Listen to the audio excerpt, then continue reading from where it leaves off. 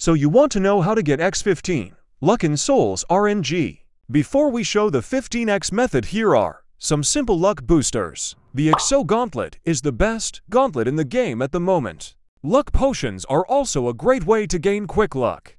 Doing the obby will grant you 30% luck for a minute. Now that you guys are done waiting, here is the 15x luck method. You must have this setting turned on for the glitch to work. You must join this Discord server too. After you join, follow the channel. Private servers, and then you will see people who have servers with special luck boosting biomes like Starfall or Glitch. Subscribe and you will roll impeach tonight.